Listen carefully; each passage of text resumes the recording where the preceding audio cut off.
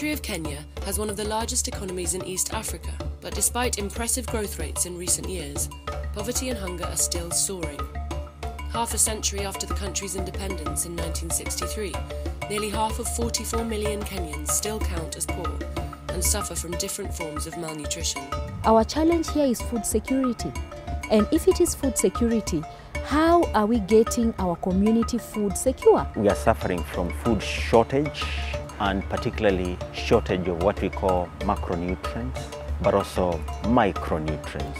Shortage of micronutrients is called hidden hunger and describes deficits of vitamins, proteins, and essential minerals crucial for the human body to function properly. Shortage of macronutrients describes a quantitative lack of food required to keep a human alive. While these problems are quite prevalent, Kenya's agricultural biodiversity could significantly contribute to the resolution of the problem. This potential has been unused for a long time, but recently, many Kenyan farmers in the western and central regions of the country have begun to resurrect this capacity. A group of almost forgotten plants, as ancient as farming in Africa itself, experiences a renaissance. African Indigenous Vegetables, in short, AIVs. In this film, we are going to learn about the combined features of these interesting plants. We'll show how they are promoted, researched, and distributed through a new German Kenyan cooperation project between scientists, farmers, and politicians. We are also going to visit a farming community in the western Kenyan region of Kakamega, the place where AIVs have been resurrected, and show why these fascinating species are the fittest to solve the food crisis in Kenya.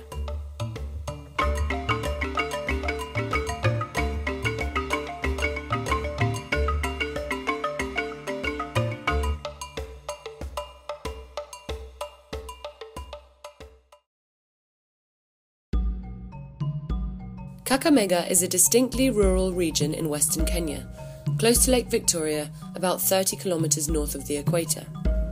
Kakamega town, the district capital, has a population of about 100,000, and it is the capital of Kakamega County, one of 47 administrative units in Kenya. This county is one of Kenya's most populous. Only 15% of the population lives in cities, and most people depend on farming for their livelihood. The local markets are full of fresh produce. Also, AIVs are frequently found at the stands, which are grown by farmers like Josephine. I was born in 1956. I was in school till class 6, but I couldn't go further because of tuition fees. My husband had a small job as a day worker. It was not a full time job. Since a salaried job is difficult to survive on, I ventured into business because I had to wait until the end of a month for my husband to send me money. I continued in business while my husband worked as a day worker. We got a little money from business and a little from day work. Farming provides the basis for subsistence for the majority of the population in Western Kenya. Production of AIVs is a fairly new development. Until not long ago, the main products of Kenyan agriculture were not indigenous, but, from Kenya's point of view, exotic crops like tomatoes or kales. Indigenous vegetables were considered out of fashion, poor man's food that could be only used as a last resort. At some point, I think there was just um, uh, there was no knowledge at all. There was uh, when the when the exotic vegetables were coming in now, and people just went, you know, and dis- disregarded the African indigenous vegetables and just left them altogether. So things really changed, and um, the value of the African indigenous indigenous vegetables was also di- di- discarded, and therefore there was a gap. Kenya's current agricultural policies are still inherited from colonial times and continue to promote high value export crops, including exotic vegetables.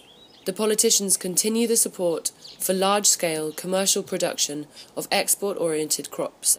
There is still no clear focus in Kenyan agricultural policies on using the potential of local crops produced by thousands of small scale subsistence farmers like Josephine or Nacheza to combat hidden hunger. The history of development of uh, um, agriculture in Kenya goes back to the colonial period. And this is where um, European farmers settled in Kenya. And uh, the whole idea was uh, to develop agriculture uh, for the purpose of um, the economic development of their mother countries. But this has begun to change. Universal availability of AIVs at local as well as urban markets is a fairly recent development. We are seeing more and more people embracing uh, local vegetables and even local foods in general. Um, but that has not come easy. It's, it's, it's a result of a big, big campaign which many institutions in the country and from outside have also been carrying out to um, create awareness about the, the, the nutritional value of this and the role it can play in, um, in, in our bodies. Dr. Maundu has led one of these campaigns for the NGO Bioversity International in collaboration with the Kenyan Ministries of Agriculture and Health. Government experts estimate that increasing urbanization will require more commercialized production of AIVs, not only to alleviate food security, but also due to the economic benefits for poverty stricken smallholder farmers like Josephine. After planting something, you will find people coming to buy the produce from your farm. The community becomes aware that when you go here or there, you get this and that. Recent research results show that many AIVs can be used for medical treatments, and it's quite insightful to compare nutrient contents of African indigenous vegetables to exotic vegetables. African nightshade contains more than four times as much vitamin C than common spinach and is used to ease chest pains and treat memory loss. Spider plant is much richer in protein than common lettuce and is used for treatment against anemia, called shortage of blood by the locals. Amaranth contains up to 10 times more calcium than cabbage, its exotic equivalent. It is also rich in phosphorus and other vitamins. But the health properties of AIVs go further than that. Recent studies have already shown that using indigenous vegetables improves the treatment of diabetes, gout, hyperlipidemia, intestinal infections, and protozoan parasites. Further research is required to investigate the medicinal use of AIVs for HIV and many other diseases. More than enough reasons to research and promote these plants so they can reach a larger amount of people. The production is still low because uh, we need to produce adequate amounts to supply the 40 million Kenyans to eat these vegetables. So we need to boost the production, the productivity, and having more farmers producing, not just uh, for home consumption, but for the local market and later maybe for even the export market to bring in money for improving the livelihoods. But in order to achieve that, a broad range of problems need solutions. Inputs for production still have a high price tag. Water is generally scarce. The quality of seeds is low. Processing of the plants is poorly developed. The technology for pest and disease management is inadequate. Lack of cold storage facilities leads to harvest losses of up to 50% post harvest handling techniques are inefficient. The overall infrastructure is underdeveloped. And lastly, local and urban markets are not effective enough. Consequently, new holistic strategies are required to improve the performance of AIVs. One important actor who works on this is the Kenyan German research project HORTINLEA, short for Horticultural Innovations and Learning for Improved Nutrition and Livelihood in East Africa. It is funded by the German Federal Ministry for Education and Research and the Federal Ministry for Economic Cooperation and Development, with strong cooperation between German and Kenyan universities at its centre. Professor Mary Abukutsa Onyango is a famous and successful promoter of AIVs. She has been one of the most important driving forces behind local activities in Kenya with her partners based in more than 18 different German and Kenyan universities and well known international research centres. She aims to develop improved varieties and to supply Kenyan farmers with high quality and affordable seeds of AIVs. Having started this promotion of African indigenous vegetables. HORTINLEA is one of the projects that's going to come up with holistic solutions, looking at how we are going to disseminate, already disseminating what we already know and what the project's going to come up. So it's a wonderful project to promote African indigenous vegetables among other projects that are going on in Africa and in the world. HORTINLEA's holistic approach becomes obvious with a look at its organisation. It is divided into 14 sub-projects that are grouped in three main strands. One project group responsible for natural sciences, one for social and environmental sciences, and two overarching projects, out of which one strives to build the capacity for long term research by involving Kenyan postgraduate students, and one to sustainably disseminate the research results to practitioners and farmers. The overall goal of HORTINLEA is to improve the livelihood and nutritional situation in Kenya and East Africa. Sustainable knowledge exchange is the key component of HORTINLEA. Researchers exchange knowledge with practitioners in order to develop and increase the production of AIVs. Today, AIVs are predominantly cultivated, reaped, sold, and prepared by women. To avoid marginalisation in the course of increased commercial production, HORTINLEA also focuses on aspects of women empowerment on the local level in Kenya.